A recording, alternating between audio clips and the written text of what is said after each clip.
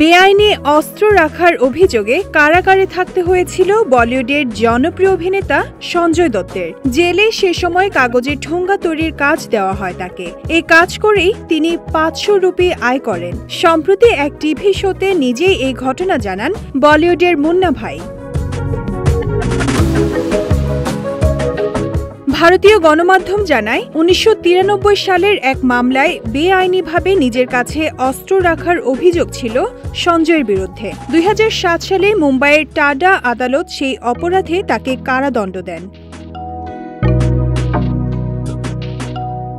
এদিকে supreme court সে রায়ই বহাল রাখায় দুই হাজার তেরো থেকে দুই হাজার ষোলো পর্যন্ত পুনের ইয়েরওয়ারা জেলে কেটেছে এই অভিনেতার। বিলাসবহুল জীবন ছেড়ে সঞ্জয় গিয়ে ওঠেন জেলখানার কুঠুরিতে। বন্দি জীবনে সঞ্জয়কে কাগজের ঠোঙ্গা তৈরির নির্দেশ দেন জেল কর্তৃপক্ষ। ঠোঙ্গা প্রতি মিলত বিশ পয়সা। প্রতিদিন প্রায় পঞ্চাশ থেকে একশোটি ঠোঙ্গা তৈরি করতেন এক সময়ের নামি দামি এই অভিনেতা।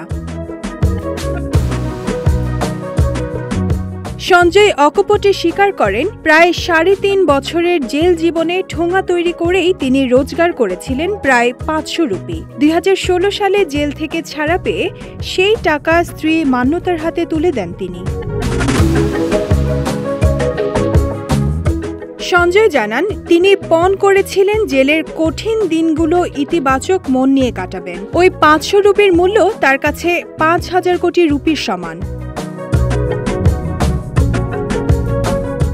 দুই হাজার ষোলো সালে নতুন করে আবার সিনেমা জগতে পা রাখেন বলিউডের মুন্না ভাই। কাজ করছেন বিভিন্ন ছবিতে। এ বছরও তার ঝুলিতে রয়েছে চারটি ছবি। সব কটিতে পার্শ্ব চরিত্রে অভিনয় করবেন এক সময়ের জনপ্রিয় নায়ক।